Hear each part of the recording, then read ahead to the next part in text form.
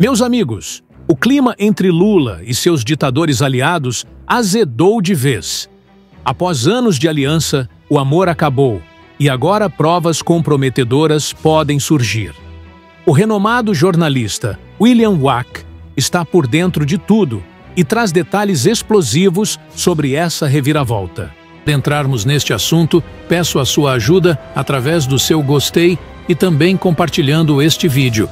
Sei que você é patriota, assim como eu, então nos ajude dessa forma, pois juntos somos. O governo foi obrigado a expulsar a embaixadora da Nicarágua em Brasília, depois que o embaixador brasileiro foi expulso de Manágua, capital da Nicarágua, por não ter comparecido a uma solenidade oficial. O motivo é fútil, mas o significado político é amplo. A revolução sandinista na Nicarágua é um amor antigo de Lula, assim como a revolução cubana e a revolução chavista. Todas desembocaram em ditaduras com as quais Lula sempre tratou de manter as melhores relações possíveis, mas a recíproca não é verdadeira. O ditador Daniel Ortega ficou bravo com Lula quando o presidente brasileiro, atendendo a um pedido do Papa, quis interceder por um bispo católico em prisão domiciliar. Maduro vem causando severos problemas para Lula ao desrespeitar acordos que o Brasil endossou, ameaçar invadir um país vizinho e fraudar uma eleição que o presidente brasileiro chamava de democrática, para não falar no calote em créditos brasileiros. Agora, a maneira como amigos se tratam mutuamente é problema deles, mas é problema de todos nós quando interesses do país são subordinados a amizades e preferências políticas pessoais do presidente da República. No caso da Nicarágua, o velho e tosco ditador Daniel Ortega atropelou Lula, chutando porta fora o embaixador do Brasil. Lula recebeu também vários chutes de Maduro, de quem voltou a cobrar hoje, em comunicado assinado em conjunto com México e Colômbia, que apresente resultados, os resultados, as atas das últimas eleições e respeite direitos humanos. O colega de Maduro, lá o Daniel Ortega, criou para Lula uma situação impossível. Obrigou Lula a agir. Maduro está fazendo a mesma coisa. É, não é bom como ele, como o Alexandre, em controlar a narrativa. A gente viu isso no último programa. E o que, que o Lula está fazendo nesse momento? Ele está simplesmente ganhando tempo e endossando o discurso do Maduro, a, dizendo, dando tempo para que o Maduro crie a narrativa dele. E ele faz isso através de palavras soltas. Né? Quando o Lula diz pressionado, Lula mantém um discurso de transparência na Venezuela. E a gente olha as falas aqui, são completamente absurdas, né? É, o presidente Lula disse que defender a transparência do resultado da eleição presidencial realizada na Venezuela. Afirmou que, abre aspas, o respeito pela tolerância e pela soberania e o compromisso com a paz. Vamos, vamos ler a frase completa do Lula. O respeito pela tolerância e pela soberania popular é o que nos move a defender a transparência pelo resultado transparência pelo resultado. Por que, que você não defendeu a transparência pelo resultado para o Brasil também, né, Lula? Mas o compromisso com a paz é o que nos leva a conclamar as partes ao diálogo e promover o um entendimento entre o governo e a oposição. Você repara, ele estava junto com, com é, o, o, presidente do Chile, também esquerdista, Gabriel Boric, é, e vocês sabem que vocês viram certamente nas redes sociais, onde o Lula recebeu uma vaia e as pessoas ao grito Lula ladrão, seu lugar é na prisão.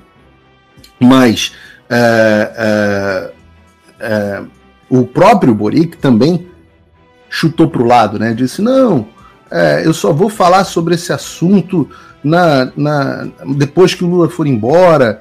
É, e, e o próprio Lula também nesse sentido, também chuta para o lado, fala assim: ah, é, ele nem. A gente tem um vídeo, né, falando disso, né? Ele nem tomou posse e já quer que eu fale sobre o assunto. Bota aí o vídeo pra gente. Você não viu a questão do Edmundo Depois, depois nós falamos, querida, calma. Poxa, o cara nem tomou posse, você já quer que eu fale.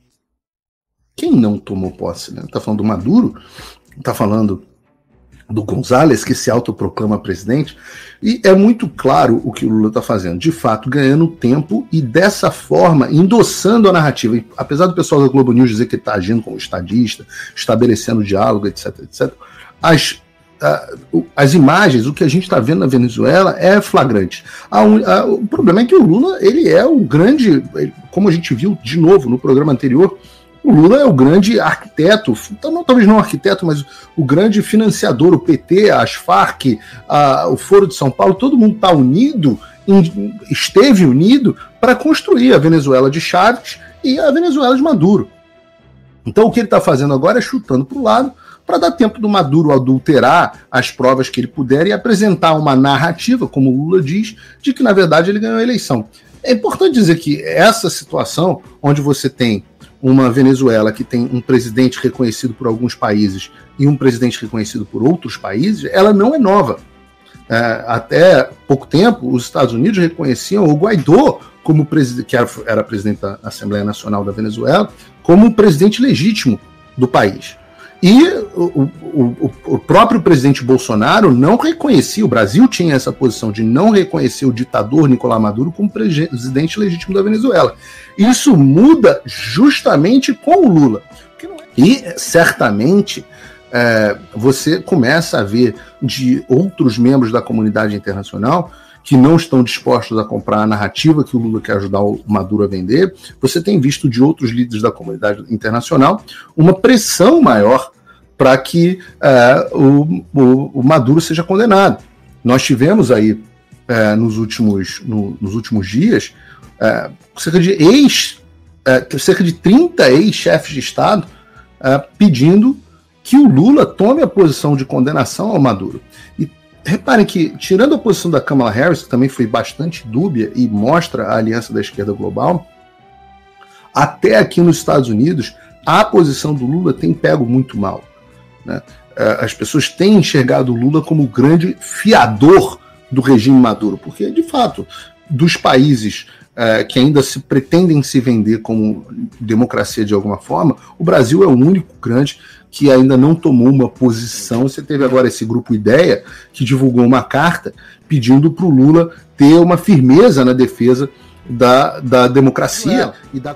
O Grupo Iniciativa Democrática da Espanha e das Américas, IDEA, divulgou uma carta na segunda-feira, assinada por 30 chefes de Estado e do governo, pedindo ao ex-presidente do Brasil que adote uma postura mais clara e firme.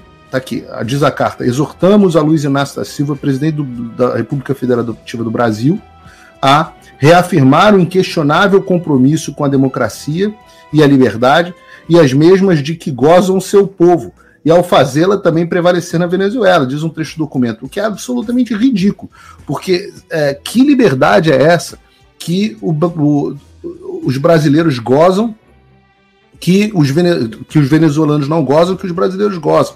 A situação é cada vez mais idêntica. Essa situação, se, se inclusive é, ficou mais, tem ficado mais escancarada com os pedidos repetidos do Maduro uh, para uh, regular as redes sociais e até mesmo banir o WhatsApp. A gente uh, teve a notícia, a gente viu o Maduro dizendo que, declarando uma espécie de guerra ao WhatsApp. Né? É, ele, inclusive, é, tem, um, tem um vídeo da gente falando sobre isso, não tem, Bruno? Voy a romper relaciones con WhatsApp.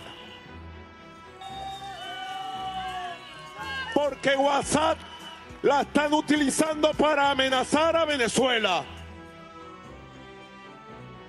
Y entonces yo voy a eliminar mi WhatsApp de mi teléfono para siempre. Poco a poco iré pasando mis contactos a Telegram a WeChat.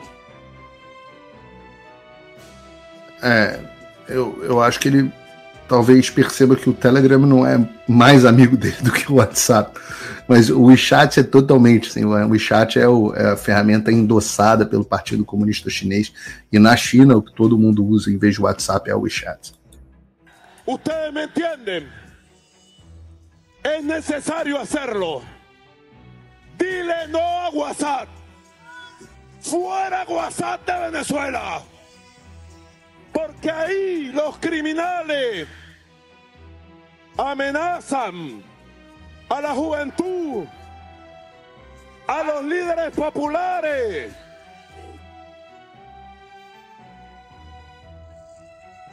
Desde teléfonos, desde teléfonos de Colombia, de Miami, de Perú, de Chile, se esconden cobardes detrás del anonimato. Pero le digo a los fascistas cobardes, ustedes se esconderán, pero la juventud patriota y revolucionaria está en las calles y jamás nos esconderemos. Primer paso, retiro voluntario, progresivo e radical de WhatsApp. Primeiro passo, retirar o. É o primeiro passo apenas. A retirada do WhatsApp. E a gente começa a enxergar é, o, o, o, padrão de comportamento. Né?